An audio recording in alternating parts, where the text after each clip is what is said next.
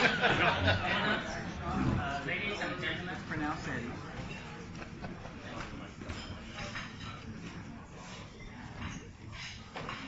it's a great honor for me uh, to speak at this particular moment of the course stage on behalf of foreign students. You know, it's not only easy for non-native speakers to make an address before a native speaker. I, I'm truly sympathetic with you because there are many times in our discussion when Terry or Lori hold the joke. I'm always the last one to squeeze a lot. Fortunately, although I'm not a good speaker, I'm good at asking questions.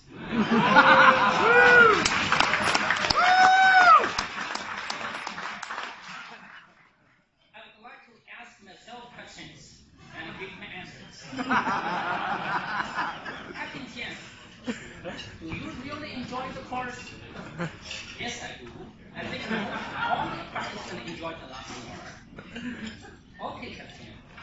What do you think makes this course so special? Is it because the Canadian Armed Forces paid your bills? In spite of their tight defense budget? or it's simply because the facilitator didn't give you a test to determine whether you're qualified for the certificate. yes, but, but not exactly. We love this course not for a single reason.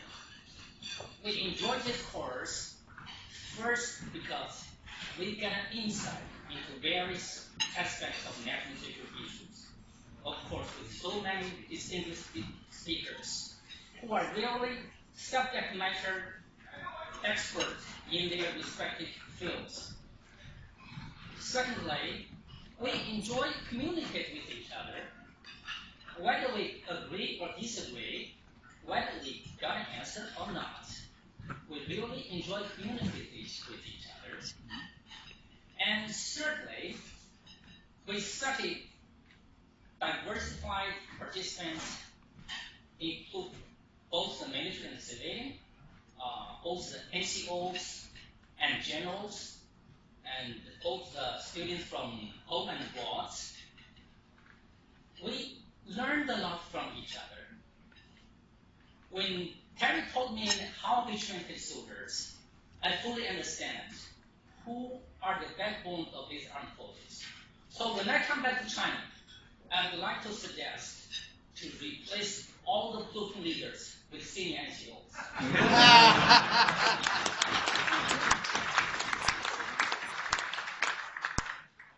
and finally, it's a good opportunity to build relationship. If I may quote our syndicate facilitator, Dr. Oliver Will, it's always benefits to build relations when you could do nothing with structures and skills, if I, may- if I quote right. So, you see, to get insights, to communicate and to learn each other, to build relationship, those elements, I think, are the true spirit of this program. And I think all this, this, the participants will take this CSSP spirit back home and carry them, carry it with them. My final question. Do you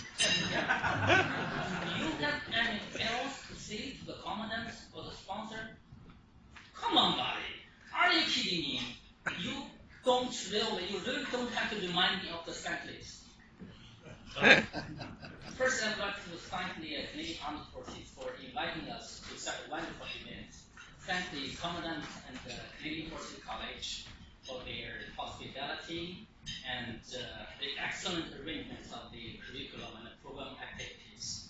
And also, I would like to give my sincere thanks to all the uh, syndicated facilities. They have played, they have played a multiple role of, uh, of instructor, moderator, director, and even a coach. And also, I would like to thank to thank my co-participants for your active engagement and interactions. And we, as foreign students, if we could make even a tiny part of the contribution to the success of we would be, we would be very pleased. And last but not least, my thanks goes to Major John and his colleague, John Barrio. So, And they have worked very hard behind the scene to make this event happen. That's end of the question and answer time. For those who enjoy me asking questions, I hope you also enjoy me presenting. And I hope we can see each other again in the future. And uh, I'm sure we will, maybe in China, and maybe not. Thank you.